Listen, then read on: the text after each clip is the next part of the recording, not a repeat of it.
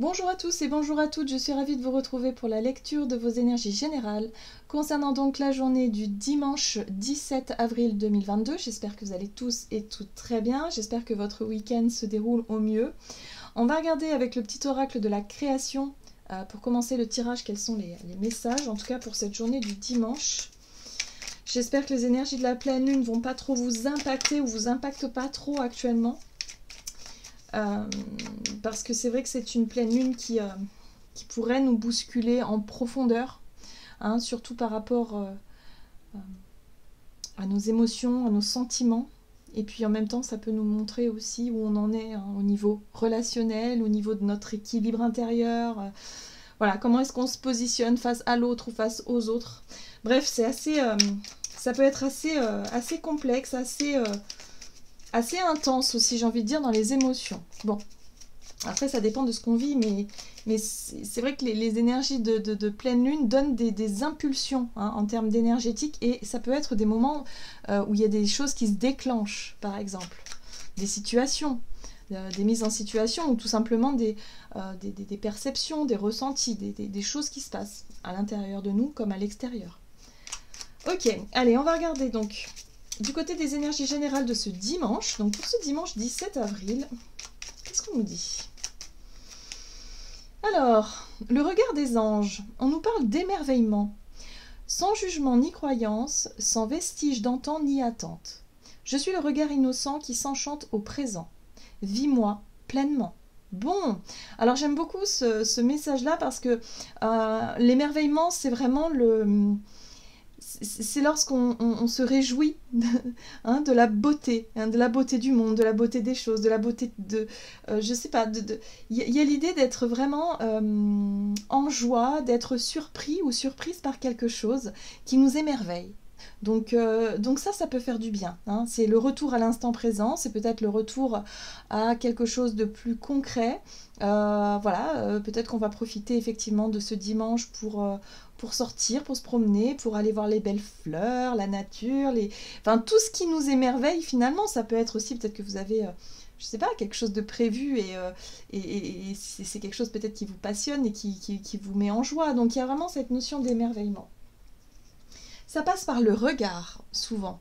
Hein, le regard que l'on porte sur les choses, mais aussi le regard, euh, voilà, on peut être euh, ébloui, émerveillé par quelque chose qui nous, voilà, qui, nous saute aux yeux, comme on dit.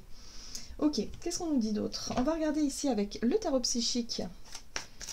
Donc, pour cette journée du dimanche, dimanche 17 avril.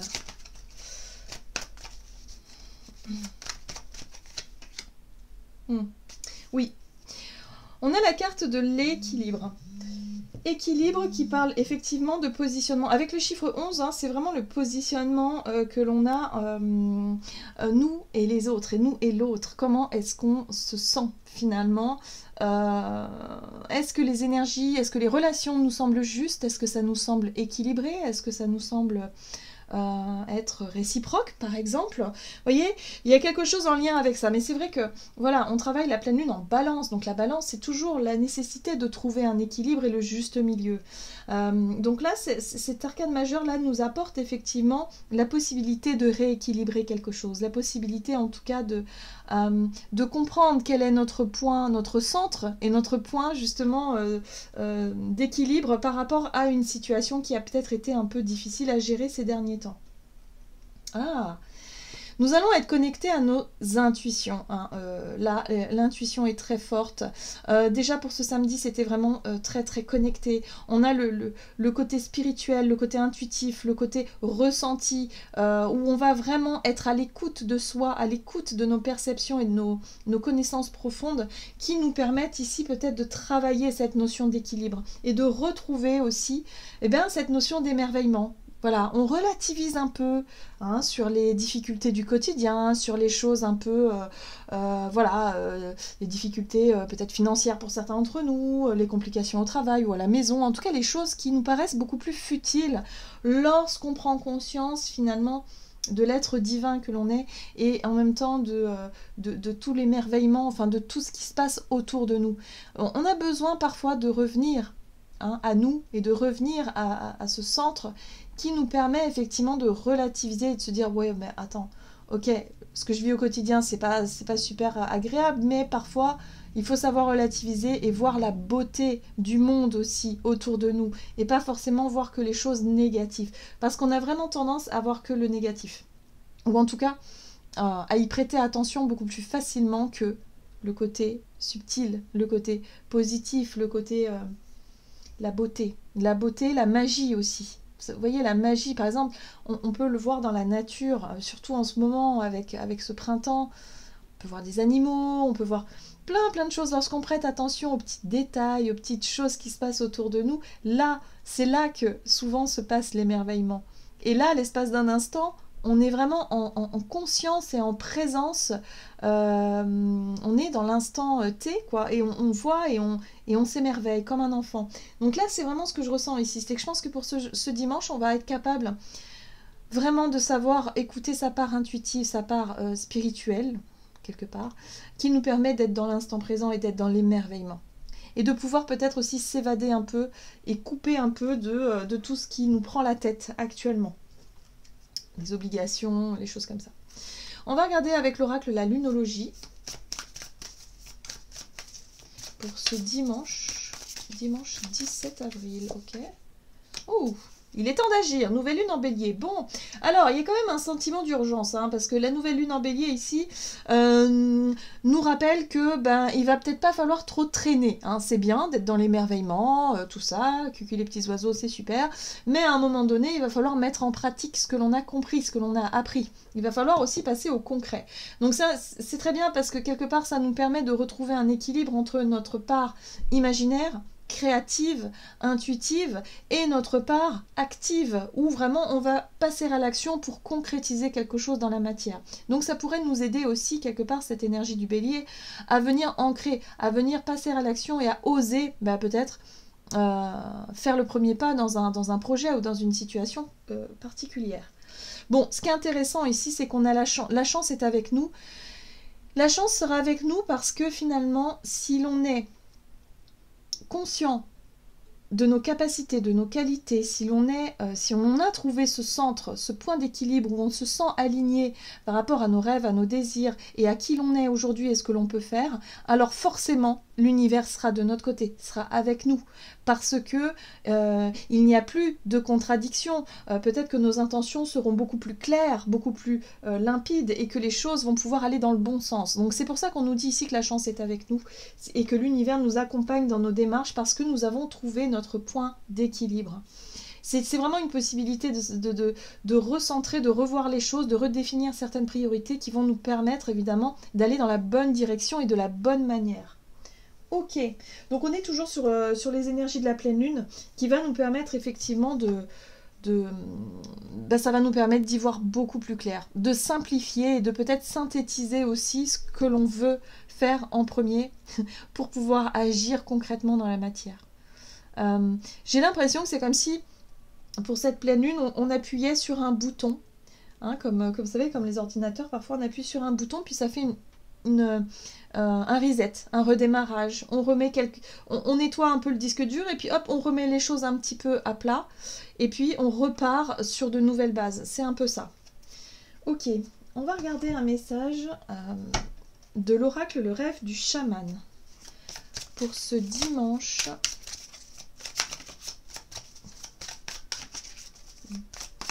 17 avril. Le feu follet, les trésors cachés dans l'ombre. Cette carte-là nous parle effectivement de, euh, de ce que l'on ne sait pas encore, de ce qui se prépare quelque part dans l'invisible, euh, de ce que l'on n'a pas encore compris. Mais ça peut être aussi euh, tout ce que l'on n'avait pas vu jusqu'à présent tout ce que l'on n'avait pas compris jusqu'à présent. Peut-être des blocages, des blocages inconscients. La pleine lune va mettre ça en lumière pour qu'on puisse justement dépasser. Et ce qui est intéressant avec la carte de l'équilibre, c'est qu'on a tous les outils. Elle me fait penser aussi à la carte du magicien. Sauf que là, on est arrivé à un stade où ça y est, on prend conscience de nos qualités, de nos capacités, de, euh, ce que l'on est capable d'ancrer dans la matière, euh, de ce que l'on est capable de faire aussi et de dépasser. Euh, elle nous apporte la notion d'équilibre et de guérison pour pouvoir avancer. Et là, il se pourrait qu'il y ait euh, effectivement des prises de conscience. On met la lumière sur des choses que l'on ne savait pas, que l'on ne voyait pas jusqu'à présent, euh, quelque chose d'inconscient qui nous fait euh, vraiment, bah, qui nous permettent ici d'accéder à une forme de compréhension. C'est intéressant parce qu'on a la carte de l'émerveillement. Donc pour certains d'entre nous, ça peut être aussi des capacités médiumniques, des, euh, des sensations, des ouvertures d'esprit, des choses que l'on ne voyait pas jusqu'à présent et qui s'ouvrent aujourd'hui à nous. Donc on peut être émerveillé, on peut être complètement ébahi devant euh, ce que l'on peut voir ou en tout cas percevoir. Euh, et ça va nous permettre effectivement d'agir mais de manière beaucoup plus consciente. Ouais, c'est ce que je ressens. Ok. On a la femme des bois qui nous parle ici d'adaptabilité. Bon, ce qui est bien ici, c'est qu'on nous rappelle qu'on a une très très grande capacité d'adaptation, peu importe ce qui arrive.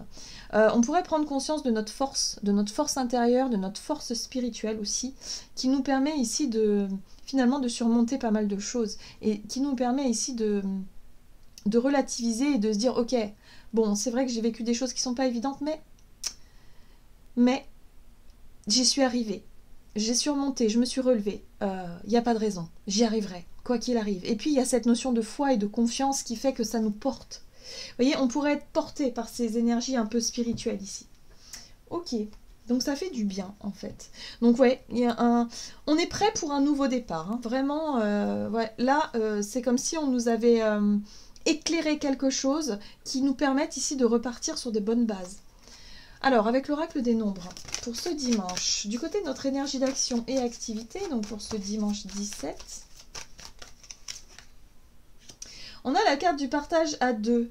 La notion de vouloir partager des choses avec une énergie d'union, hein, où on a envie peut-être effectivement de s'associer, de se rapprocher en tout cas des personnes avec qui ça match, avec qui on a les mêmes, euh, les mêmes visions des choses, avec qui on a euh, euh, cette alchimie, vous voyez Je ressens vraiment ce, côté alchimique, bah oui. Parce qu'on a la carte de l'éveil, on a pris conscience de quelque chose. Quelque chose s'est réveillé, s'est éveillé en nous, on a une nouvelle vision, un nouveau regard, et du coup là, on sait ce que l'on veut. Et surtout, comment est-ce qu'on veut le partager? On a envie de... Quelque part, on a envie de fusion, on a envie de... Oui, d'être dans une notion d'équilibre et d'équité. On a l'équilibre avec le 11, où on est un individu à part entière qui, euh, qui fait face à un autre individu, donc on est sur deux énergies en équilibre. Là, avec le chiffre 2, on est sur une union et sur une fusion, où deux énergies en font plus qu'une. Vous voyez ce que je veux dire? Ok, donc qu'est-ce qu'on nous dit là? On va regarder avec le tarot de Light Sears Tarot. Pour ce dimanche 17, partage, partage d'union à deux. On a le roi de coupe. Le roi de coupe, il est très serein, il est, il est ok avec ses émotions. Hein. C'est vraiment une énergie de maturité émotionnelle où là, on, fait preuve d'analyse. On a compris. On, se met à la place du thérapeute où là, on pourrait dire, mais oui, mais là, j'ai compris, je sais pourquoi, comment, machin. Donc là, je sais comment est-ce que je veux m'unir à l'autre ou à la polarité euh, en face de moi. Par exemple, voyez? Ok. Oui, oui la médiumnité va être très présente, c'est-à-dire les ressentis, la façon de communiquer. La 8 de bâton, c'est les messages que l'on va percevoir, c'est les, c'est les impulsions aussi qu'on va recevoir, les idées, euh, l'intuition, mais ça peut être aussi la rapidité dans les événements. Mais moi, avec ce personnage-là qui est vraiment dans, l'écoute de, de, de son cœur, dans l'écoute de ses émotions, dans l'écoute de ses ressentis, il va se passer des choses il va se passer des choses. Donc on nous invite vraiment à nous écouter.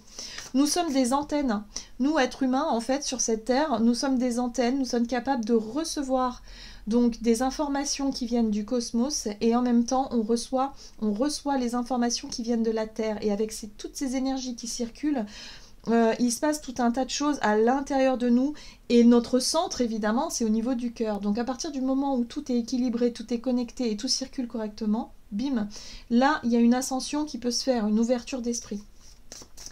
Donc je pense qu'il y a euh, comme une mise à jour peut-être sur, sur, sur, nos corps, sur nos êtres en fait, euh, qui fait qu'on va être beaucoup plus réceptif et beaucoup plus conscient en tout cas pendant cette pleine lune. Je, pense que c'est un lien avec la pleine lune de, de toute façon. Ok, qu'est-ce qu'on nous dit d'autre? Oui, bah oui, c'est confirmé. Vous voyez La lune, donc voilà. Donc oui, oui, c'est en lien avec cette pleine lune qui nous diffuse vraiment euh, des choses. Ça va nous permettre effectivement de savoir où on en est, nous, en tant qu'être, en tant qu'individu, par rapport à nos polarités, masculines, féminines, mais également par rapport à l'autre, hein, dans nos relations de manière générale, de façon générale. D'accord. Bon, super. Bon. Et ce qui va nous aider en plus, bah en fait ce travail-là, hein, le fait de recevoir des informations, le fait de pouvoir justement être dans... Euh, à l'écoute de nos, messages, de nos intuitions, de tout ce qui va se passer euh, vraiment euh, pendant ce week-end, il y a l'idée de lâcher prise. Il y a une possibilité de réussir à lâcher prise sur certains blocages qui nous empêchaient d'agir justement, qui nous empêchaient peut-être d'être d'oser euh, nous exprimer, d'agir ou montrer quelque chose, nos talents par exemple.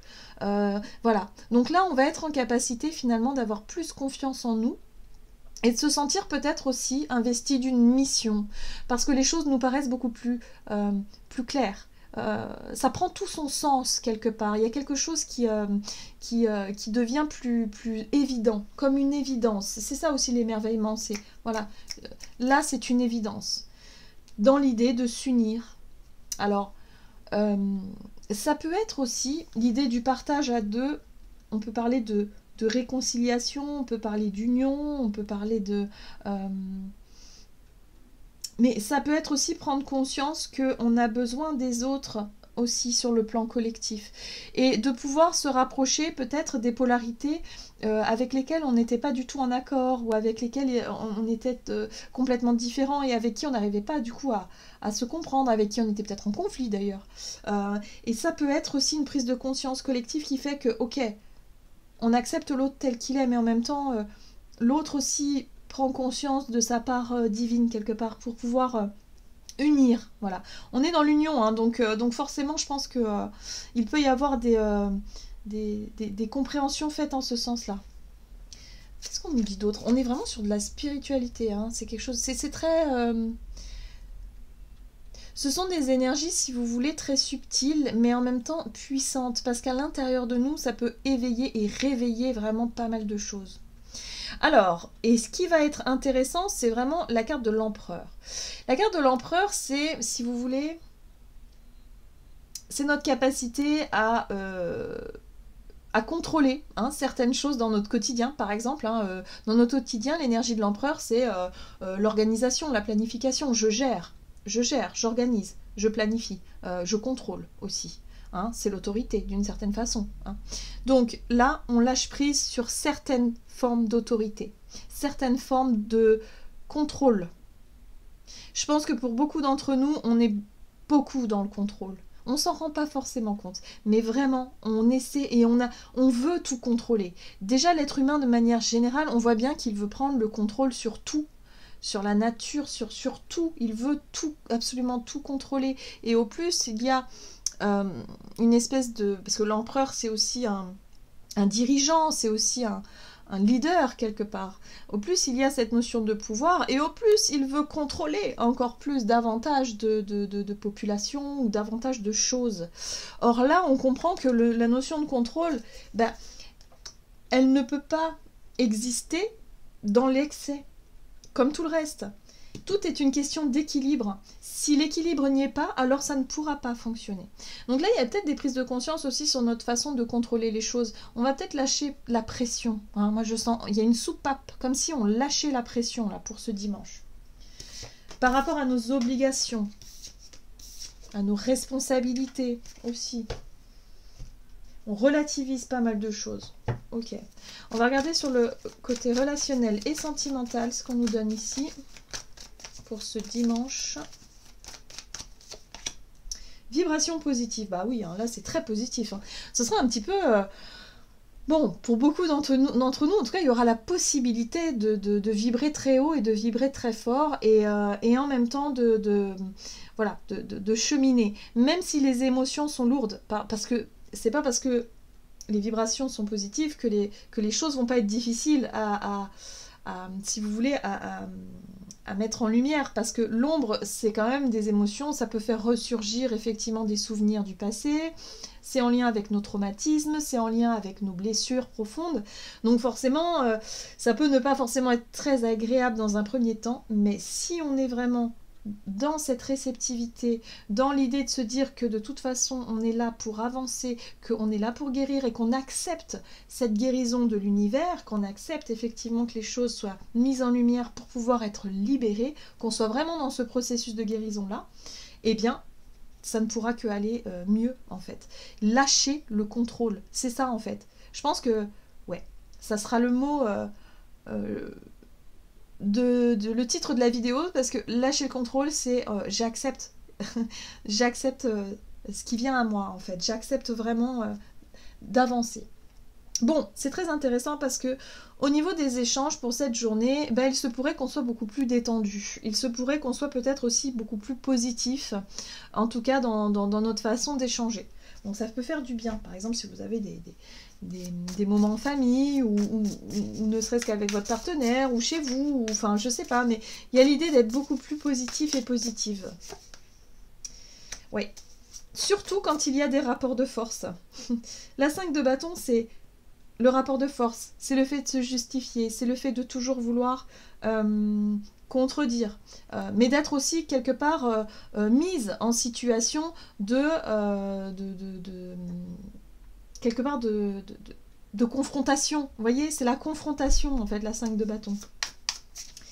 Et là, j'ai l'impression que pour les personnes en tout cas qui, euh, qui, auront compris tout ça et qui ont plus besoin d'union, de réconciliation, de faire la paix avec, avec tous ces, euh, ces, effets miroirs, avec toutes ces, ces blessures d'ego, avec tout ça, euh, là, on aura compris que non, on va aborder les confrontations différemment, avec des, des paroles plus positives des façons d'exprimer les choses beaucoup plus euh, simples. Euh, page de bâton. Simple, authentique et surtout euh, dans la bienveillance. Ok, page de bâton. Ok, on est dans les bâtons. Hein. Et roi de bâton. Très bien. Et là, on est sur un page de pentacle. Bon, on voit bien qu'on essaie de construire pour l'avenir. Ce qui est intéressant ici, c'est que on va commencer à penser à structurer quelque chose. Le page de Pentacle, c'est l'étude, c'est le fait ici de commencer en tout cas à s'exercer concrètement dans la matière. Donc moi j'ai l'impression ici qu'on aura compris des choses, euh, conscientisé, compris des choses, mais encore faut-il maintenant passer à l'action. Et là je pense qu'au travers de nos relations, on va être mis en situation peut-être de confrontation pour cette journée, et on va pouvoir justement voir comment on va agir ou réagir face à cela. Voilà. Il y a quelque chose de nouveau avec le page de bâton. Hein. Je sens que, ok, on va se sentir prêt, on va se sentir prête, on va être euh, un peu comme, euh, comme un, enfant le jour de la rentrée des classes, hein, où, euh, on ne sait pas trop à quoi s'attendre, mais, quelque part on fait preuve de curiosité, on, voilà, on, est dans l'ouverture et on se dit, ok, on va voir comment on va gérer la situation. Et ce qui est intéressant, c'est qu'on a quand même ce roi de bâton.